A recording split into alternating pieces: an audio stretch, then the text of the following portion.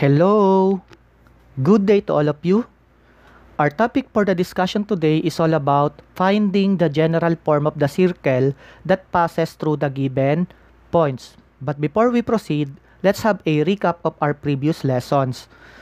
What is the standard form of the circle? So the standard form of the circle is first, if we have center at origin, that will be x squared plus y squared is equal to r squared.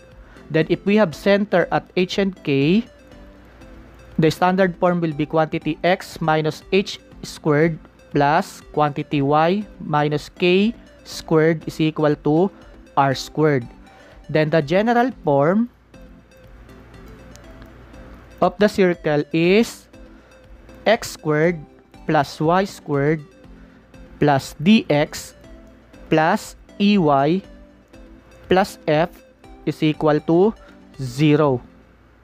We are asked to find the general form of the circle that passes through the given points. The points are 2 and 3, 6 and 1, and 4 and negative 3. So how are we going to do that? The first step is we are going to uh, substitute the given points in our general form. We are going to substitute each point in our general form. Let's proceed. So we have uh, 2 squared plus 3 squared plus d times 2 plus e times 3 plus f is equal to 0. Let us simplify.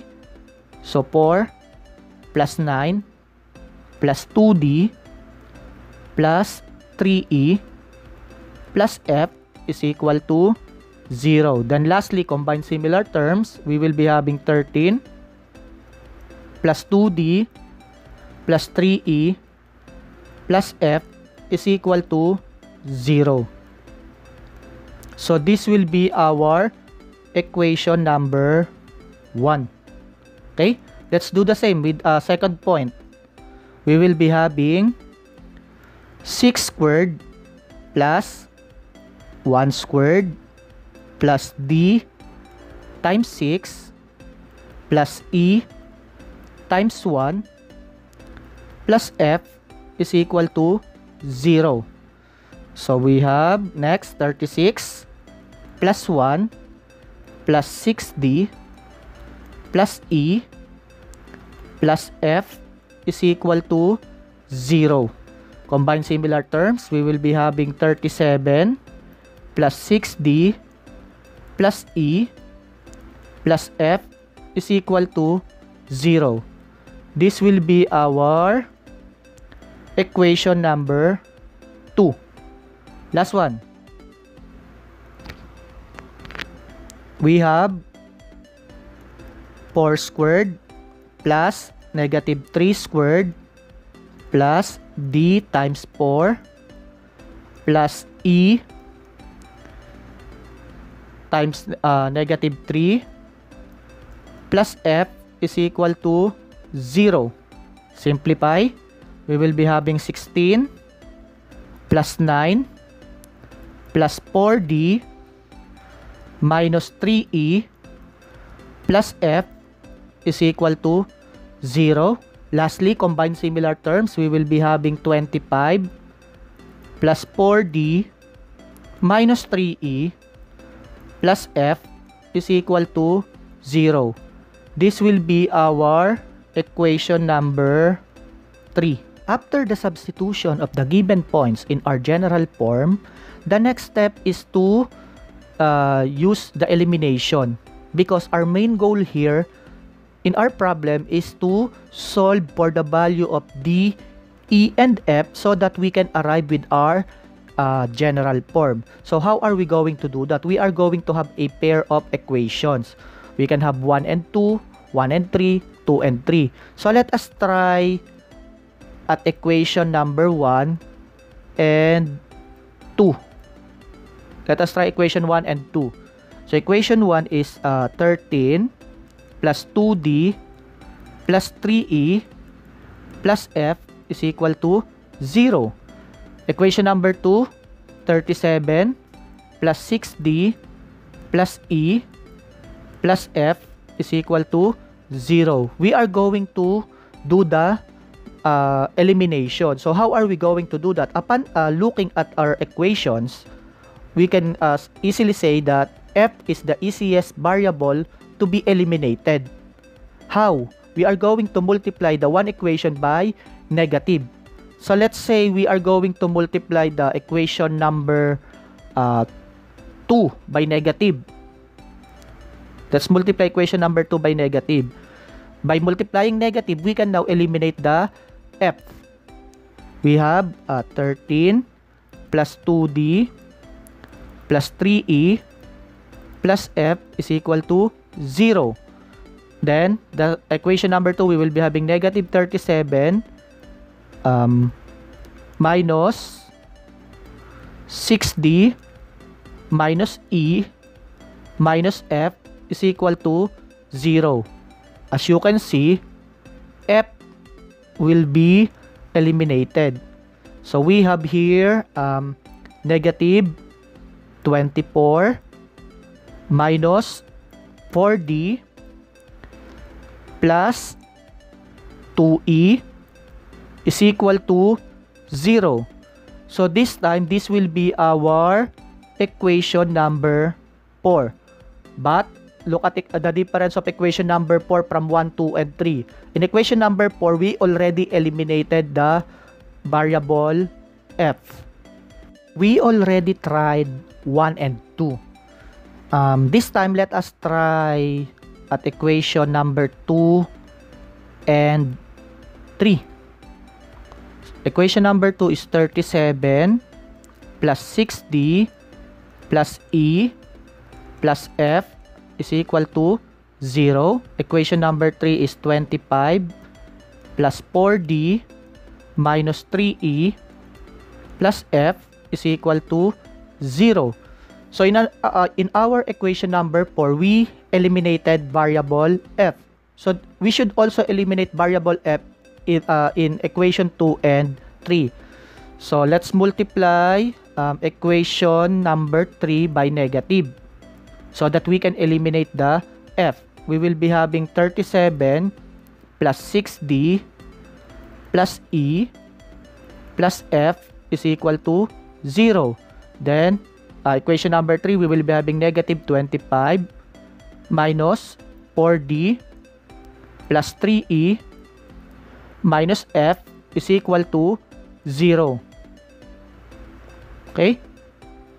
So, we will be having um, 12 plus 2d plus 4e so f is eliminated is equal to 0 this will be our equation number 5 next we are going to combine equation number 4 and equation number 5 so that um, we can now solve for one variable if we eliminate the one variable So upon observing the variable, we can easily eliminate the d.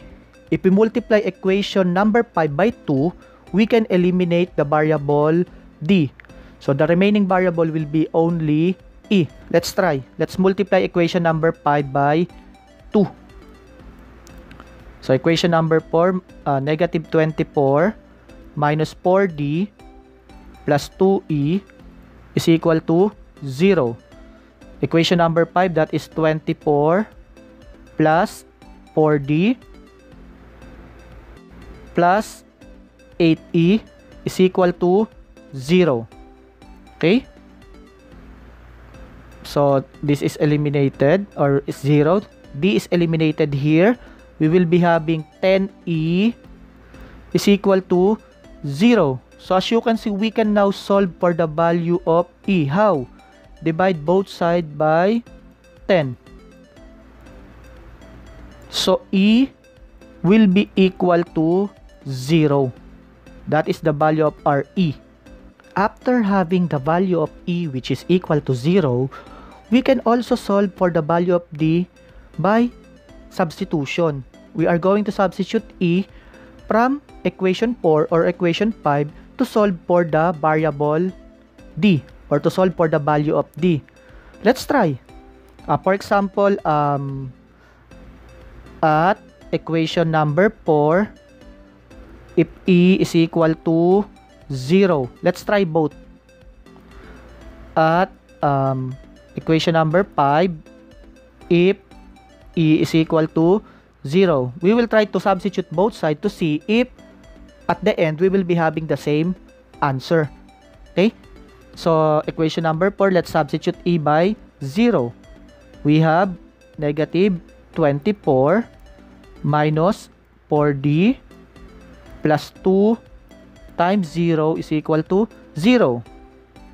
We have negative 24 minus 4D is equal to 0. We have next negative 4D is equal to 24. Divide both sides by negative 4 to solve for D. So the value of D will be equal to negative 6. At equation number 4, if E is equal to 0, let's try at equation number 5, if E is equal to 0, let us see if we will be having the same value. So we have 12 plus 2D plus 4 times 0 is equal to 0. We have 12 plus 2d is equal to 0. Then 2d is equal to negative 12. Divide both sides by 2. d is equal to negative 6. As you can see, kahit alin tayo or kahit saan tayo mag-substitute dyan, at the end, we will be having the same value. So, no need to worry. Kahit saan ka mag-substitute, at the end, we will be having the same answer. After getting the value of D and E, we can now solve for the value of F by substitution. Just simply select from equation 1, 2, or 3, then do the substitution. Uh, it is the same as earlier equation wherever we are going to substitute the value of D and E, at the end we will be having the same answer. Let us try at equation number 1 if D is equal to negative 6 and E is equal to 0.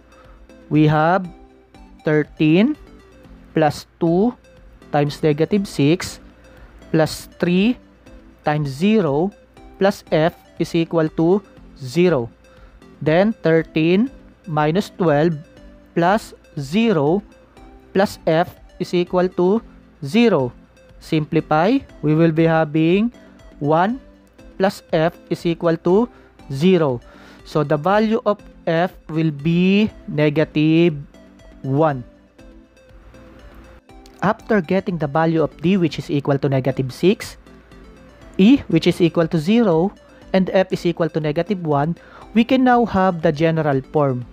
What, do, what are we going to do is just simply substitute the value of d, e, and f in our general form.